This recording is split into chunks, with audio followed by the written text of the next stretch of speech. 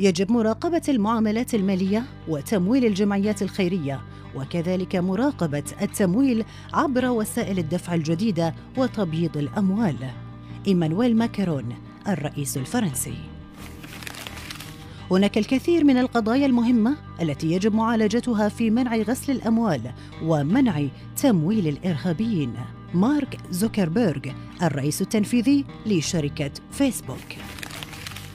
أطلقت الجامعة برنامج النزاهة المالية لإعداد خبراء ومختصين في مجال غسل الأموال ومكافحة الإرهاب.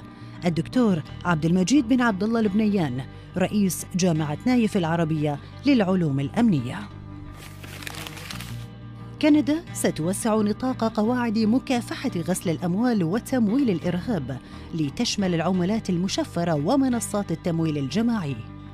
كريستينا فريلاند نائبة رئيس الوزراء الكندي.